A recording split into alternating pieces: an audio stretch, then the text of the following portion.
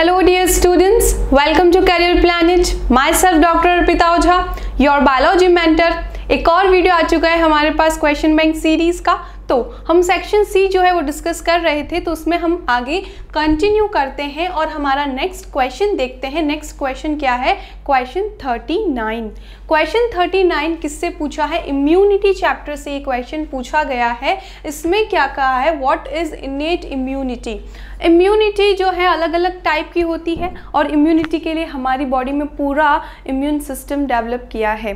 कुछ इम्यूनिटीज़ ऐसी होती हैं जो आपको पेरेंट्स से डायरेक्ट मिल जाती हैं बट कुछ इम्यूनिटी ऐसी होती हैं जो कि, जो इंडिविजुअल होता है, खुद टाइम के साथ डेवलप करता है। एंड कुछ इम्यूनिटीज़ ऐसी होती हैं जो बाहर से प्रोवाइड की जाती है आर्टिफिशियली तो अलग अलग टाइप की इम्यूनिटीज़ होती हैं, जिसके बेसिस पे उनको डिवाइड किया होता है। एक्टिव इम्यूनिटी जो खुद डेवलप कर रहा है अपनी बॉडी के थ्रू एंड पैसिव इम्यूनिटी जो किसी की हेल्प से मिल रहा है पैसिव इम्यूनिटी ऐसा भी हो सकता है पेरेंट्स से मिली है तो वो इनेट इम्यूनिटी होती है इनेट यानी कि बाय बर्थ इम्यूनिटी मिली है, या फिर हम वैक्सीनेशन के फॉर्म में या किसी भी तरह से इम्यूनिटी प्रोवाइड करते हैं। तो आपको इम्यूनिटी का एक बेसिक पॉइंट क्लियर हो गया। तब अब हमारे क्वेश्चन की तरफ़ चलते हैं। वो क्या है? वॉट इज़ इनेट इम्यूनिटी तो यहीं से सबसे पहले क्लियर कर लेते हैं टाइप्स ऑफ़ इम्यूनिटी इम्यूनिटी के जो हैं अलग अलग टाइप्स होते हैं। क्या है? There are mainly two types of immunity natural और इनेट इम्यूनिटी फ़र्स्ट क्या हो गई हमारी? नेचुरल और innate immunity okay and second क्या हो गई? एक्वायर्ड इम्यूनिटी ओके एक्वायर्ड जो है वो जो खुद लेता है, उसे हम क्या कहते हैं? एक्वायर्ड इम्यूनिटी दो टाइप की इम्यूनिटी हमारे पास हो गई। अब देखिए नेचुरल एंड इनेट इम्यूनिटी क्या होती है? A person protects himself from different harmful and disease causing microorganism जब वो पर्सन क्या करता है? खुद ही खुद से अलग अलग टाइप से क्या करता है, खुद को प्रोटेक्ट कर रहा है तो ये क्या कहलाती है जो बाय बर्थ इम्यूनिटी उसके अंदर होती है, वो क्या कहलाती है इन्नेट इम्यूनिटी होती है। Okay these processes are called natural और innate immunity and this immunity is genetic ये जेनेटिक होती है पेरेंट्स के थ्रू आपको मिलती है। ओके पॉइंट क्लियर हुआ? समझ में आई बात अच्छे से? Okay okay. इसके अंदर कौन कौन सी होती है? हम यहाँ पर देखें तो living beings get it since birth and it is obtained by barrier that check the entry of disease factor into the body अच्छा तो इसका मतलब क्या है? कि जितने भी लिविंग बींग्स होते हैं, ये ऑटोमेटिकली अपनी बॉडी के अंदर ये इम्यूनिटी लेकर ही बर्थ लेते हैं। फ़र्स्ट पॉइंट क्लियर हो गया और वो क्या करती है प्रिवेंट करती है किसी भी बाहर से आने वाले ऑर्गेनिज्म को अंदर एंटर करवाने में ओके? क्लियर हुआ? That check the entry of the disease in the body and this type of immunity और barrier capacity mainly has four types of factor इसके पास फोर टाइप्स ऑफ़ फैक्टर्स होते हैं। क्या क्या फैक्टर है? फ़र्स्ट है फ़िज़िकल फैक्टर फिजिकली क्या क्या हमारी बॉडी में इस तरह से डेवलप किया गया है, जो कि क्या करता है, हमारी बॉडी को प्रोटेक्ट करता है from the entry of pathogens okay ठीक है तो फ़र्स्ट है physical barrier this first of all prevent the microorganism from the entry into the body जो सबसे पहले देखता है, कोई भी तरह का पैथोजन है जो कि कोई ऐसा माइक्रो ऑर्गेनिज्म है जो कि डिज़ीज़ कॉज कर सकता है, वो हमारी बॉडी में एंटर ही ना करे। इस तरह का फ़िज़िकल बेरियर हमारी बॉडी में बनाया गया है। This first of all check the prevent हो गया। Thus it is first line of defence इसलिए इसको फ़र्स्ट लाइन ऑफ़ डिफेंस कहते हैं इससे हमारा क्वेश्चन भी पूछा जाता है अलग से एग्ज़ाम में, जो कि हम प्रिपेयर करेंगे okay okay? Then in this following organs take part सबसे फ़र्स्ट आ गया स्किन स्किन जो है, हमारी स्किन क्या करती है? एक तरीके से प्रोटेक्टिव मैकेनिज्म का फ़ंक्शन करती है। किसी भी तरह के बाहर से आने वाले पैथोजन को स्किन बाहर पर ही रोक देती है ओके okay? ये इसका फ़ंक्शन हो गया। म्यूकस मेम्ब्रेन म्यूकस मेम्ब्रेन कहाँ होती है? हमारी इनर साइड की जो भी लाइनिंग है, जैसे जैसे कि नॉस्ट्रल के अंदर है, या फिर जितने भी इनर विसरल ऑर्गन्स हैं, उसके ऊपर की जो लाइनिंग होती है, वो म्यूकस मेम्ब्रेन होती है। क्या करती है? सिक्रीट करती है म्यूकस को ताकि म्यूकस के थ्रू वो जो है पैथोजन, वो हमारे ब्लड के अंदर तक ना पहुँचे और वहीं से उसको बाहर निकाल दिया जाए। Point clear and physiological barrier और कुछ फिजियोलॉजिकल बेरियर्स भी होते हैं। आपको ये पॉइंट क्लियर हुआ? उसके अलावा और क्या क्या इसके अंदर फैक्टर्स होते हैं? तो देखिए complement system cellular phagocytic barrier and inflammatory barrier इनका मतलब समझते हैं हम, कहने का मतलब क्या है? सेल्यूलर फेगोसाइटिक बेरियर यानी कि हमारे ब्लड में कुछ सेल्स प्रेजेंट हैं, वो सेल्स क्या करती हैं? बाहर से वो पूरे टाइम चेक करती रहती हैं ब्लड में कौन सी सेल्स कहाँ हैं, क्या फ़ंक्शन कर रही हैं? और उसके बाद अगर कोई उनको पैथोजन मिलता है तो उस पैथोजन को वो क्या करती है? किल कर देती है। ओके उनको पहचान कर किल कर देती है इन्फ्लेमेटरी इन्फ्लेमेटरी बैरियर्स क्या करते हैं? मान लीजिए हमें कहीं पे एंट्री हुई है पैथोजन की तो वहाँ पर कि वहाँ की सेल्स जो होती हैं inflammatory substances inflammatory mediator secrete कर देती हैं, जिससे वहाँ पर इन्फ्लेमेशन हो जाता है और एक अलार्मिंग साइन होता है कि यहाँ पर कुछ इन्फेक्शन हो गया है। The innate immunity is non specific type of defence non specific होती है पर्टिकुलर एक पैथोजन के लिए एक इम्यून फैक्टर रिस्पॉन्सिबल नहीं होता ये. ऑल ओवर सब टाइप की इम्यूनिटी आपको प्रोवाइड करती है, इसलिए ये नॉन स्पेसिफिक इम्यूनिटी होती है. Clear innate immunity consists of various barrier which prevent the entry of microorganism जो कि अलग अलग तरह की barriers देती है जो कि microorganism की prevention को रोकती है ये point हमें clear हो गया है तो फ़िज़िकल बैरियर हमने पहले भी देखा था इसमें क्या है देखिए skin on our body is the main physical barrier that prevent the entry of microorganism जो कि हमारे माइक्रो को अंदर आने से रोकती है। हमारी पूरी बॉडी को स्किन ने क्या कर रखा है? कवर कर रखा है। Okay and mucus coating of the epithelium lining in the respiratory system gastrointestinal system and urogenital tract इन सब के अंदर क्या होता है? हमारी म्यूकस मेम्ब्रेन प्रेजेंट होती है, जो कि म्यूकस को रिलीज़ कर देती है। तो ये सारे जितने भी ट्रैक्ट हैं, इन ट्रैक्ट के अंदर से क्या होगा? माइक्रो ऑर्गेनिज्म वहीं पर ट्रैप हो जाएगा। और क्या होगा उसे बॉडी के अंदर एंटर करने से हम रोक लेंगे। ओके तो इस तरह से फ़िज़िकल बेरियर फ़ंक्शन करता है। फिजियोलॉजिकल बेरियर क्या होते हैं? तो देखिए फिजियोलॉजिकल में स्टमक के अंदर हमारा एसिड का सिक्रीट होना, जो कि वहीं पर किल कर देता है। Saliva in the mouth mouth के अंदर लाइसो जाइम प्रेजेंट होता है ओके okay, तो वो भी किल करता है बैक्टीरिया को। Tears from the eye eye के अंदर से जो टीयर्स निकलते हैं ये सब क्या करते हैं? प्रिवेंशन करते हैं माइक्रो ऑर्गेनिज्म का या फिर माइक्रोबियल ग्रोथ का। Cellular barrier certain types of leukocyte सारी के सारे डब्ल्यू का नाम यहाँ पर लिख लिया। जितनी भी डब्ल्यूबीसी होती है ये जैसे मेनली न्यूट्रोफिल हो गई मोनोसाइट हो गई ये सब क्या करती हैं? किलिंग का फ़ंक्शन करती हैं ऑफ़ आर बॉडी एंड देखिए, इसके अंदर स्पेसिफिक है। यहाँ से बहुत इंपॉर्टेंट क्वेश्चन हमेशा बनता है। नीट के लिए भी काफ़ी इंपॉर्टेंट रहता है। तो इसकी फुल फॉर्म आपको पता होनी चाहिए। P M N L P M N L क्या है? Polymorphonuclear leukocyte are known as P M N L ये फुल फॉर्म हमें पूछी जाती है। Polymorph nuclear neutrophil leukocyte okay तो देखिए, ये जो है, ये न्यूट्रोफिल है। ठीक है पॉलीमॉर्फ न्यूक्लियर का मतलब क्या है? बहुत ज़्यादा क्वांटिटी के अंदर न्यूक्लियस के लोब्स प्रेजेंट होना। तो ये जो न्यूट्रोफिल है, इसमें न्यूक्लियस के लोब्स प्रेजेंट होते हैं okay and monocyte and natural killer type of lymphocyte in the blood as well as macrophages in the tissue can phagocyte and destroy the microorganism. तो हमारे जो ये सेल्यूलर बैरियर हैं सेल्यूलर बैरियर में किसके example लिखे हैं? न्यूट्रोफिल के, कौन से neutrophil P M N L neutrophil okay उसके साथ ही मोनोसाइट उसके साथ ही कौन? नेचुरल किलर सेल जिनको हम एन के सेल्स भी कहते हैं। ये सब ब्लड के अंदर और टिश्यू में कौन सी होती है मैक्रोफेज जो होती है टिश्यू में प्रेजेंट होती है, इन सबका फ़ंक्शन क्या है? पैथोजन के पहचानो और उसको वहीं पर क्या कर दीजिए? किल कर दीजिए। आपको पॉइंट क्लियर हुआ? समझ में आई अच्छे से ये बात? तो ये काफ़ी इंपॉर्टेंट है। तो यहाँ आप इसको अच्छे से लर्न करेंगे। ओके चलें आगे।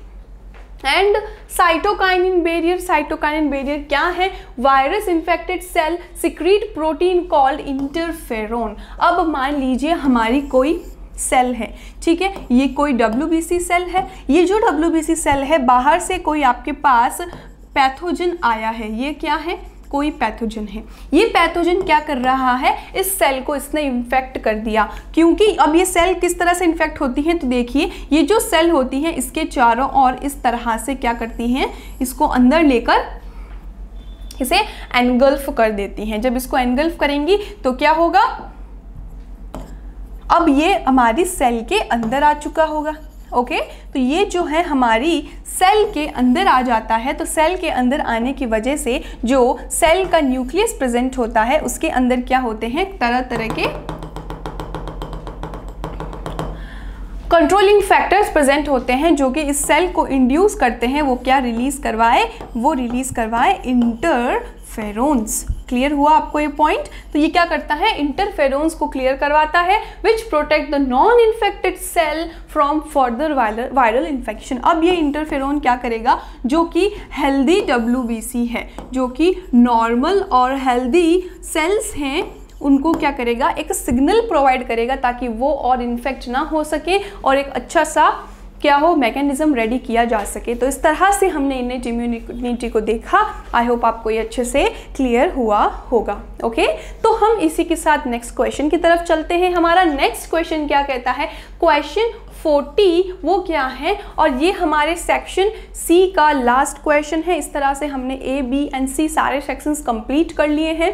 Okay right the pathogen carrier and affected organ of malaria generally malaria का सबसे फ़ेमस क्वेश्चन होता है मलेरिया साइकिल जो है, वो पूरी समझाइए, जिसमें आपको बताना होता है होस्ट वेक्टर इसका कहाँ पे क्या फ़ंक्शन है, किस तरह से जो है प्लाज्मोडियम एंटर करता है एंड ऑल ये तो सबसे इंपॉर्टेंट क्वेश्चन होता है। उसके अलावा एक और क्वेश्चन हमें यहाँ पर पूछा गया है कि मलेरिया का पैथोजन कौन है? साथ ही इसका कैरियर कौन है और इसके अफेक्टेड ऑर्गन्स क्या क्या होते हैं? तो देखो मलेरिया जो है एक डिज़ीज़ है जो कि प्रोटोजोआ से फैलती है। पैथोजन अलग अलग टाइप्स के होते हैं तो उसके अंदर जो हमारा प्लाज्मोडियम होता है प्लाज्मोडियम की हमारे ब्लड में एंट्री हो जाती है तो इस एंट्री की वजह से क्या होगा?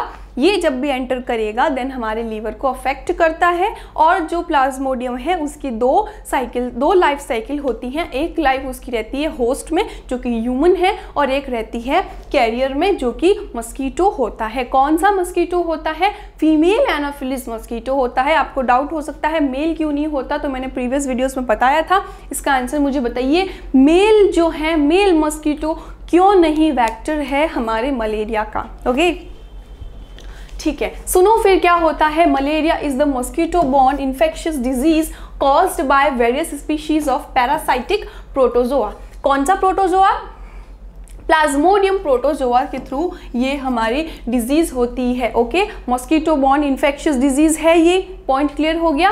कॉज ऑफ़ मलेरिया क्या क्या कॉजेज हैं हमारे मलेरिया के? तो देखिए these are the manufacture that can cause malaria जो कि क्या कर सकता है? मलेरिया को करवा सकता है। फ़र्स्ट है bitten by the malarial vector mosquito कौन सा anopheles okay second use of shared and infected syringes अगर आप ब्लड कांटेक्ट हो जाए, जिस ब्लड में प्लाज्मोडियम है, वो ब्लड क्या हो? कांटेक्ट हो जाए, तब भी दिक्कत आती है। ऑर्गन ट्रांसप्लांटेशन हो जाए ट्रांसफ्यूजन हो ब्लड ट्रांसफ्यूजन हो, या कोई भी तरह का ट्रांसफ्यूजन हो and from an infected mother to her baby during the birth ये सारे रीज़न हैं हमारे किसके?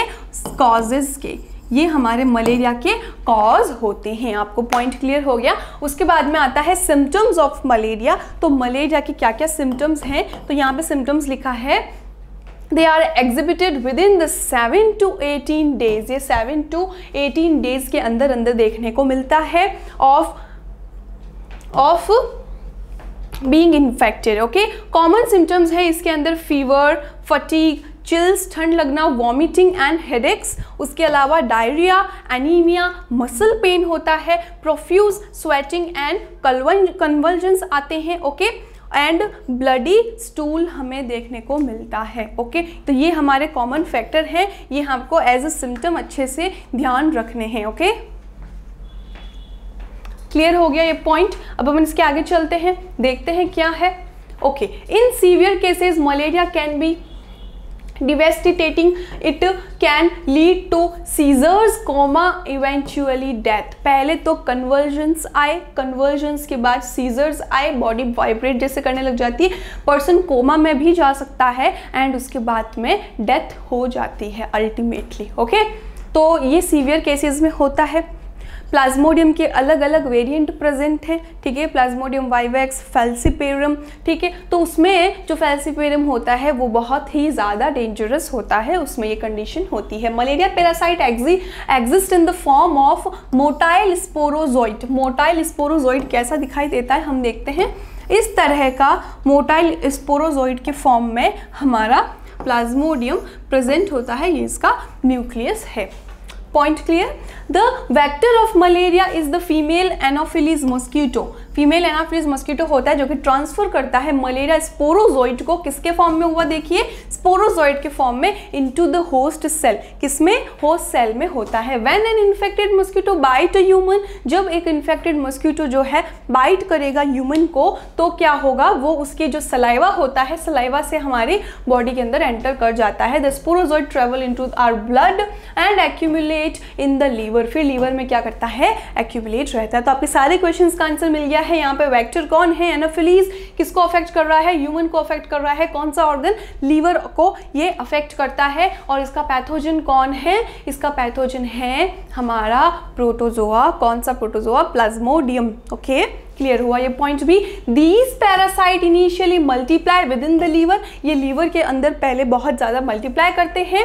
By damaging the liver cells and rupture the blood cell फिर वो क्या करते हैं? ब्लड सेल को रप्चर कर देते हैं into the body malaria kills by causing the destruction of red blood cell ये हमारी आरबीसी का इतना ज़्यादा डिस्ट्रक्शन कर देते हैं कि अल्टीमेटली पर्सन की डेथ भी हो सकती है in the host okay the parasite reproduce asexually in the R RBC देखिए, मेरी बात क्लियरली ध्यान से सुननेगा जो हमारी बॉडी की आर होती हैं रेड ब्लड सेल्स होती हैं, उन रेड ब्लड सेल्स के अंदर क्या होता है? ये जो हमारा पैरासाइट है, कौन सा पैरासाइट जो प्लाज्मोडियम है, वो बहुत ही ज़्यादा कंटिन्यूसली रिप्रोडक्शन करता है। कैसा रिप्रोडक्शन करता है? नोट करिए ए सेक्शुअल रिप्रोडक्शन वो करता है। Point clear bursting the cell and releasing more parasite to infect more cell एक आरबीसी आई, एक आरबीसी के अंदर गए और वहाँ को उसको मल्टीप्लाई किया ए सेक्सुअल रिप्रोडक्शन की हेल्प से देन वो उसको रप्चर कर दिया। बहुत सारे पैरासाइट हो गए। दूसरी नॉर्मल हेल्दी सेल्स को भी उन्होंने क्या किया? इन्फेक्ट कर दिया। Okay the rupture of the red blood cell by malaria parasite release a toxin called hemozoin फिर से इंपॉर्टेंट पॉइंट आ गया। वो जो है हीमोजोइन को रिलीज़ करता है causes the patient to experience condition known as chill आपको ये क्वेश्चन माइंड में आता है कि क्यों वहाँ पे चिल है फीवर होता है हेडेक होता है? तो हीमोजोइन जो है, उस टॉक्सिन के रिलीज़ की वजह से ऐसा होता है। When the female anopheles mosquito bite and infected human the parasite enter to the अब क्या होगा?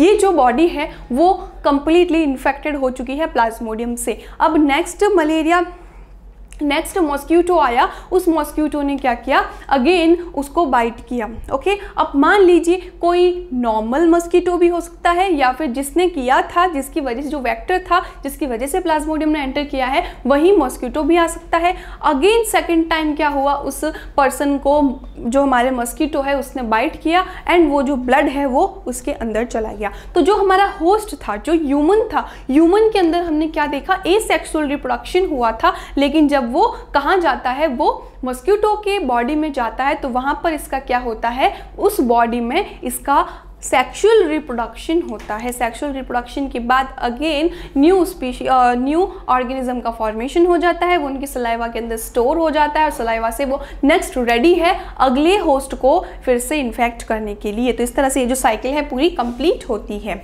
Okay the parasite enter the mosquito's body along with the human blood and it is उसके बाद में क्या होता है, जिस ब्लड को उसने लिया था, उससे वो उसकी बॉडी में एंटर कर जाता है। It is inside the mosquito body that actual development and the maturing of the parasite यहीं पे फिर से उसका डेवलपमेंट एंड मैच्योरेशन होता है। The parasite produces in the human body reach the intestine of the mosquito mosquito की intestine के अंदर वो पहुँचते हैं और वहाँ पर जो मेल एंड फीमेल सेल्स हैं, वो फर्टिलाइज होती हैं। किसमें इंटेस्टाइन में फर्टिलाइज हुई of the mosquito to lead to the formation of sporozoite again sporozoite का फॉर्मेशन होता है एंड क्या होता है? On maturing the sporozoite break out the mosquito's intestine and migrate to the salivary gland and salivary gland में पहुँच जाते हैं मस्क्यूटो की। Once they reach the salivary gland they wait till the mosquito bite another human उसके बाद से फिर से ये साइकिल चलने लग जाएगा। इस तरह से हमने पूरा का पूरा इसका मैकेनिज्म देख लिया और हमें सारे पॉइंट्स इसमें अच्छे से क्लियर हो गए। इसके साथ ही आप जो उसके साथ चार्ट बना हुआ था नोटबुक में वो अच्छे से फिर से बनाएँगे। क्लियर नेक्स्ट क्वेश्चन की तरफ़ चलें। Okay okay. तो हमारा नेक्स्ट क्वेश्चन क्या कहता है? नेक्स्ट क्वेश्चन है यहाँ से स्टार्ट हो गया हमारा section D section D start हो चुका है। उसमें क्वेश्चन फ़र्स्ट क्या कह रहा है? Draw the diagram of male reproductive system explain the testis and the function of sertoli cell साथ ही फ़ंक्शन बताइए हमारी सर्टोली सेल का। तो देखिए किस तरह का डायग्राम होता है मेल रिप्रोडक्टिव सिस्टम का? तो जो बुक में बना है, वैसा डायग्राम तो नहीं है ये बट ये काफ़ी सिंपलेस्ट फॉर्म में समझाया गया है। इस डायग्राम में हम सबसे पहले देख लेते हैं, जो भी मेल रिप्रोडक्टिव सिस्टम होता है, उसमें क्या होता है? एक होता है मेन ऑर्गन बाकी होते हैं एसेसरी ऑर्गन तो मेन ऑर्गन हमारे यहाँ पर क्या हैं? टेस्टीज हैं ओके ये जो टेस्टीज होते हैं, ये किसके अंदर रहते हैं? स्क्रॉटम में रहते हैं। या फिर स्क्रॉटल सेक में रहते हैं। Scrotal sac is a bag like structure okay ये जो बैग लाइक स्ट्रक्चर है, ये एक ही बैग लाइक स्ट्रक्चर होता है जिसके अंदर दोनों टेस्टीज जो होते हैं, वो लैंड करते हैं और वो वहाँ पर प्रोटेक्टेड फॉर्म में रहते हैं। फ़र्स्ट पॉइंट आपको क्लियर हो गया स्क्रॉटल सेक के बारे में। स्क्रॉटल सेक जो है, ये डार्क कलर का hair hairy bag like structure होता है जिसके अंदर दोनों टेस्टिकल्स लाए करते हैं। First point clear okay okay. उसके बाद देखिए, यहाँ पर इसके अंदर क्या प्रेजेंट होते हैं? जो टेस्टीज प्रेजेंट हैं। इन टेस्टीज का क्या फ़ंक्शन है? क्या होता है इसके अंदर? तो एक ही टेस्टीज को हम थोड़ा सा इलेबोरेट करके इसका बड़ा डायग्राम देखते हैं। तो देखिए, इसके अंदर क्या होता है? जो हमारा टेस्टीज है, यहाँ पर हमने क्या बनाया है? इसके बाहर स्क्रॉटल सेक बनाया है। ये स्क्रॉटल सेक से जो हमारा टेस्टीज होता है, वो क्या करता है? मसल्स के थ्रू कनेक्टेड होता है। डार्टोज मसल के थ्रू इसके अंदर कनेक्टेड होता है और एक और मसल क्रिमेस्टर मसल भी प्रेजेंट होती है। पॉइंट क्लियर हो गया। फ़र्स्ट पॉइंट सेकंड ये जो टेस्टीज है, इस टेस्टीज को किस कैप्सूल ने कवर कर रखा है? टेस्टिक्यूलर कैप्सूल ने कवर कर रखा होता है, जिसकी दो मेम्ब्रेन होती है इनर एंड आउटर तो इस आउटर और इनर मेम्ब्रेन को हम क्या कहते हैं? Tunica albuginea and tunica vaginalis okay दो इसकी क्या हो गई? टेस्टिस की मेम्ब्रेन्स हो गई इनर एंड आउटर मेम्ब्रेन उसके बाद टेस्टिस के अंदर 250 टू 100 क्या होते हैं? पिरामिडिकल शेप के लोब प्रेजेंस होते हैं, जिसे हम क्या कहते हैं? टेस्टिकुलर लोब्यूल्स कहते हैं. पॉइंट क्लियर हुआ? आपको अच्छे से दिख रहा है ये डायग्राम तो ये जो हमारा टेस्टिकुलर लोब्यूल होता है, इसके अंदर क्या प्रेजेंट है? बहुत सारे 250 से 300 तक लोब्यूल्स प्रेजेंट होते हैं और सारे लोब्यूल्स के अंदर क्या प्रेजेंट है? सेमिनिफेरस ट्यूब्यूल्स प्रेजेंट होती हैं। देखिए, हमने पर्पल कलर से ड्रॉ की है। ये जो सेमिनिफेरस ट्यूब्यूल है, ये इस तरह से इसके अंदर हर लोब्यूल्स में टू टू थ्री के फॉर्म में प्रेजेंट होती हैं। कौन? सेमिनिफेरस ट्यूब्यूल्स ओके ये जो सेमिनिफेरस ट्यूब्यूल है, इसके साथ इसके अंदर blood vessels nerve supply and all भी साथ में प्रेजेंट होती हैं। सारी की सारी सेमिनिफेरस ट्यूब्यूल क्या करती हैं? एक जॉल लाइक स्ट्रक्चर बनाती हैं, जिसे हम क्या कहते हैं? रेटे टेस्टीज ओके तो ये रेटे टेस्टीज बनाती हैं और रेटे टेस्टीज जो होती है वास सारी की सारी रेटे टेस्टीज क्या करती हैं? सबसे यहाँ से सेमिनिफेरस ट्यूब्यूल्स आके मिक्स हो गई, एक जाल जैसा स्ट्रक्चर बना दिया। ये जो स्ट्रक्चर है, ये क्या करेगा? वास इफ्रेंस के फॉर्म में बाहर एक एज सिंगल ट्यूब निकलता है। अब ये ट्यूब बहुत ज़्यादा लंबी होती है तो ये हाईली कॉइल्ड फॉर्म में प्रेजेंट होती है। ये पॉइंट आपको क्लियर हुआ? हाईली कॉइल्ड फॉर्म में ये क्या करती हैं? ये कंटिन्यूसली ऐसे पैक्ड स्ट्रक्चर बनाती है, जिसे हम क्या कहते हैं? एपिडिडाइमिस कहते हैं। क्या कहते हैं इसे? एपिडिडाइमिस कहते हैं। पॉइंट क्लियर हुआ आपको? देन एपिडिडाइमिस से नेक्स्ट जो है टेस्टिस से बाहर निकल जाती है वास डिफरेंस के फॉर्म में। ओके तो अब हम क्या देखते हैं? वास डिफरेंस को देखते हैं। तो ये रही वास डिफरेंस। यहाँ पर क्या प्रेजेंट था ये? एपिडिडाइमिस प्रेजेंट था। ओके एपिडिडाइमिस से यहाँ से क्या निकल गई? वास डिफरेंस निकल गई। वास डिफरेंस जो होती है यूरेटर को कुछ इस तरह से क्रॉस करती है ओके okay? यूरेटर को क्रॉस करते हुए यहाँ पे एक ब्रॉड स्ट्रक्चर के फॉर्म में खुल जाती हैं। सेम टू सेम उस दूसरे टेस्टिकल के साथ होता है, वहाँ पर क्या होती है? इसी तरह से वास डिफरेंस निकलती है। ये क्रॉस करती है किसको? यहाँ पे यूरेटर को क्रॉस करती है और इसमें एक ब्रॉड स्ट्रक्चर के फॉर्म में खुल जाती है, जिसे हम क्या कहते हैं? एम्प्यूला कहते हैं। तो टेस्टीज क्लियर हो गया। ये क्या हो गई? ये हमारी वास डिफरेंस हो गई। एंड वास डिफरेंस के बाद ये किसमें खुल गई? मतलब इसका एक ब्रॉड स्ट्रक्चर के फॉर्म में कन्वर्ट हो गई, जिसे हम क्या कहेंगे? एम्प्यूला कहेंगे। आपको इजी लगता है बुक का डायग्राम वो ड्रॉ कर सकते हैं, ये इजी लगे, ये भी ड्रॉ कर सकते हैं ओके उसके बाद इसी के अंदर क्या ओपन होती है? एक स्ट्रक्चर है, जिसे हम कहते हैं समाइनल वेसिकल क्या है? ये हमारा समाइनल वेसिकल यहाँ पर प्रेजेंट है ओके तो समाइनल वेसिकल की ओपनिंग इसके अंदर होती है और ये जब दोनों ओपनिंग एक साथ, इधर से यहाँ पे क्या आ रही है? आपके पास वास्ट डिफरेंस आ रही है। अगला क्या है? हमारा समाइनल वेसिकल है। ये दोनों किस फॉर्म में खुलते हैं? ये दोनों यहाँ पर खुलते हैं इजेक्यूलेटरी डक्ट के फॉर्म में। किस फॉर्म में? इजेक्यूलेटरी डक्ट के फॉर्म में ये यहाँ पर ओपन होता है ओके फिर यहाँ से क्या आ जाती है अगली स्ट्रक्चर हमारी? प्रोस्टेट ग्लैंड की। यहाँ पे अगली स्ट्रक्चर क्या है? प्रोस्टेट ग्लैंड हमने पढ़ा था यूरित्रा जो होती है जहाँ से स्टार्ट हो रही है यूरिनरी ब्रेडर के नेक पे प्रेजेंट होती है कौन सी ग्लैंड प्रोस्टेट ग्लैंड तो यहाँ पर आ गई हमारी प्रोस्टेट ग्लैंड ओके क्लियर हुआ ये पॉइंट देन उसके बाद यहाँ से यूरिथ्रा स्टार्ट होती है, जो कि यूरियोजेनाइटल ट्रैक्ट कहलाती है। ठीक है यूरिनोजेनाइटल ट्रैक्ट क्यों कहते हैं? क्योंकि यहाँ से यूरिन भी पास आउट होता है। ओके साथ ही इसको जेनाइटल ट्रैक्ट क्यों कहते हैं? क्योंकि यहीं से सिक्रीट होता है स्पॉम ओके दोनों पॉइंट आपको क्लियर हो गए। चलिए, इसी के साथ यहाँ पर आपको एक और स्ट्रक्चर दिख रहा है, जिसे हम क्या कहते हैं? इसे हम कहते हैं bulbo यूरिथ्रिल gland bulbo urethral gland, या फिर इसे और क्या कहा जाता है? काउपोर्ट्स ग्लैंड भी कहा जाता है। क्लियर ओके देन यहाँ पर क्या होता है? ये जो यूरिथ्रा है, इस यूरिथ्रा के चारों और एक स्पॉन्जी टिश्यू जो होते हैं, वो इसके चारों ओर प्रेजेंट होते हैं, जहाँ कंटिन्यूसली क्या होता है? ब्लड फिलिंग का प्रोसेस होता है। ठीक है? तो ये जो स्ट्रक्चर है, ये किसका स्ट्रक्चर हो जाता है? पीनीस का स्ट्रक्चर हो जाता है। फिर उसके बाद इसके अंदर इसकी जो टर्मिनल पॉइंट होता है, ये काफ़ी बल बल्ज आउट पॉइंट होता है और इसे हम क्या कहते हैं? ग्लांस पीनिस कहते हैं। ये जो ग्लांस पीनिस है, इसके ऊपर एक स्किन जो होती है, वो स्किन की कवरिंग होती है, जिसे हम प्रिपिस कहते हैं ओके तो यहाँ पर ये कवरिंग हमें देखने को मिलती है। और साथ ही हम ये भी डायग्राम को इसमें इसको मेंशन कर सकते हैं डायग्राम में यूरिनरी ब्लेडर को, जहाँ पे क्या प्रेजेंट है?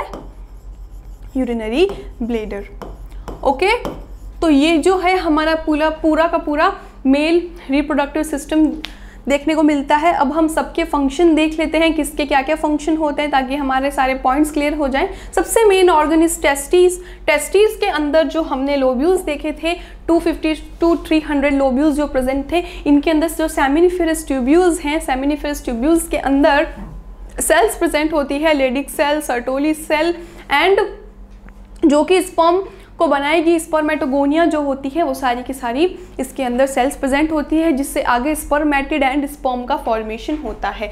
तो इनिशियली वो स्पर्मेटिड के फॉर्म में निकलते हैं। स्पर्मेटिड जो होते हैं रेटेटेस्टिस के थ्रू वासिफ्रेंस के थ्रू एपिडिडाइमिस में आते हैं और यहाँ पर ये क्या होते हैं? नॉन मोटाइल होते हैं। इसीलिए इनको हम क्या कहते हैं? स्पर्मेटिड कहते हैं। ओके फिर उसके बाद क्या होता है? ये यहाँ से किसमें जाते हैं? वास्ट डिफरेंस में जाते हैं। ये रही वास्ट डिफरेंस यहाँ से निकले। ओके कहाँ पे गए? वास्ट डिफरेंस में गए। एंड जो वास्ट डिफरेंस है, वहाँ से होते हुए वो एम्प्यूला के थ्रू किसके अंदर खुलते हैं? समाइनल वेसिकल के अंदर खुलते हैं। समाइनल वेसिकल क्या करता है? सीमन को रिलीज़ करता है। और जो ये स्पर्मेटेड हैं, ये क्या करते हैं? अब स्पर्म में कन्वर्ट हो गए, क्योंकि जो स्पर्म थे, वो किसके अंदर? सीमन के साथ, यानी कि लिक्विड के साथ मिक्स हो गए। एंड ये नेक्स्ट किसके अंदर खुलते हैं? इजैक्यूलेटरी डक्ट में खुलते हैं। और ये जो इजैक्यूलेटरी डक्ट है, ये किसके अंदर एंटर करती है? ये हमारी प्रोस्टेट ग्लैंड के अंदर एंटर करती है। प्रोस्टेट ग्लैंड के बाद बल्बो यूरिथ्रल ग्लैंड आती है और वहाँ से जो यूरिथ्रा है, ये इसका यूरिथ्रा का ट्रैक्ट है और साथ ही ये किसका स्ट्रक्चर होता है? ये पिनीस का स्ट्रक्चर होता है जो कि इरेक्शन में हेल्प करता है ताकि जो हमारा पूरा का पूरा सीमन है, उसको इजैक्यूलेट किया जा सके। इस तरह से ये पूरा का पूरा स्ट्रक्चर हमें देखने को मिलता है। साथ ही साथ हमें अगला क्वेश्चन क्या पूछा था? जो सर्टोली सेल है, उसके फ़ंक्शन बताइए। सर्टोली सेल क्या होती है? It is a nurse cell इसे हम नर्स सेल भी कहते हैं। ये जो होती है लेस इन नंबर होती है as compare to leydig cells and large in size इनकी साइज़ जो होती है, बड़ी होती है एंड ये कॉल्यूमनर टाइप की होती है। किस तरह की होती है? कॉल्यूमनर टाइप की सेल्स जो हैं, ये होती हैं। फ़ंक्शन क्या है? ये सपोर्ट प्रोवाइड करती हैं, डेवलपिंग स्पर्मेटिड्स को नर्सिंग का फ़ंक्शन करती है, ओके? साथ ही ये क्या करती है? डिसइंटीग्रेट करती है unnecessary cytoplasm of spermatid spermatid का जो अननेसेसरी साइटोप्लाज्म है, उसको ये डिसइंटीग्रेट करती है secrete the inhibin hormone inhibin hormone जो कि एक प्रोटीन हार्मोन है, उसको सिक्रीट करती है, जो कि रेगुलेट करता है function of F S H को। तो इसका ये सारा काम था सपोर्ट करना एंड नरिशमेंट प्रोवाइड करना। पॉइंट क्लियर हुआ आपको? सारी बातें अच्छे समझ में आई? तो इस तरह का जो होता है, ये मेल रिप्रोडक्टिव सिस्टम होता है। क्लियर तो अब हम थोड़ा सा टेस्टिस पे फोकस करें। तो यहाँ पर देखिए, जो सेमिनिफेरस ट्यूब्यूल्स होती हैं सेमिनिफेरस ट्यूब्यूल के अलावा यहाँ पर क्या क्या प्रेजेंट होता है? कुछ endocrine cells blood capillaries nerve fibres सारे के सारे प्रेजेंट होते हैं। ओके अब देखिए सेमिनिफेरस ट्यूब्यूल के अलावा इसके अंदर जो कनेक्टिव टिश्यू होता है, इस कनेक्टिव टिश्यू में इंटरस्टिशियल सेल या फिर लेडिक सेल्स जो होती हैं प्रेजेंट होती हैं, जो कि सिक्रीट करती हैं टेस्टोस्टेरॉन हार्मोन को ओके तो टेस्टोस्टेरॉन हार्मोन हमने पढ़ा है, ये क्या होता है? ये सेकेंडरी सेक्सुअल कैरेक्टर्स को जनरेट करता है और स्पर्म के फॉर्मेशन के लिए, उसके डेवलपमेंट के लिए भी इंपॉर्टेंट होता है। पॉइंट क्लियर हो गया। तो आपको समझ में आ गया सेमिनिफेरस ट्यूब्यूल्स हैं एंड इसके साथ ही क्या है, इंटरस्टिशियल सेल्स हैं, जिसे हम लेडिक सेल भी कहते हैं, जो टेस्टोस्टेरॉन को सिग्रीट करवाता है। उसके अलावा इसी के साथ क्या होता है spermatogonial cells and supporting cells भी प्रेजेंट होती हैं okay spermatogonial cells and supporting cell present होती हैं। स्पर्मेटोगोनियल सेल्स क्या होंगी? स्पर्मेटोगोनिया बनाएँगी, उससे आगे कंटिन्यूसली मियोसिस एंड माइटोसिस के डेवलपमेंट से ये आगे डेवलप करेगा। आई होप आपको ये सारे के सारे पॉइंट्स अच्छे से क्लियर हुए हैं और आपको सारी बातें अच्छे समझ में आई हैं ओके okay? तो इस तरह से हम पूरा मेल रिप्रोडक्टिव सिस्टम देखते हैं। आपने सर्टोली सेल के फ़ंक्शन पूछे, एग्ज़ाम में हमारे लेडीज़ सेल के भी फ़ंक्शन आ सकते हैं। तो अगर आपको लेडीज़ सेल का फ़ंक्शन पूछे तो लेडिक सेल जो होती है, इसे इंटरस्टिशियल सेल भी कहते हैं। और इसका फ़ंक्शन क्या है? इसका फ़ंक्शन है टेस्टोस्टिरोन को सिक्रीट करवाना, जो कि मेल हार्मोन है ओके क्लियर हुआ ये पॉइंट तो इस तरह से हमारा आज का वीडियो यहीं तक है। हमने सारे क्वेश्चन डिस्कस किए हैं। इसके बाद हम अगले वीडियो में देखेंगे। तब तक के लिए पढ़ते रहिए। Okay thank you students